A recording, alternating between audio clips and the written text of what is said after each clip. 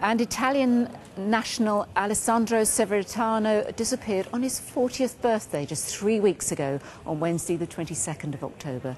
He was last seen by friends at 9 pm at the Royal Liverpool Hospital wearing a light blue Adidas tracksuit. Now, his relatives back in home in Italy have released an appeal saying, Mother is worried and anxious about you. She's waiting for you and cries every day. Your sisters and nieces are desperate.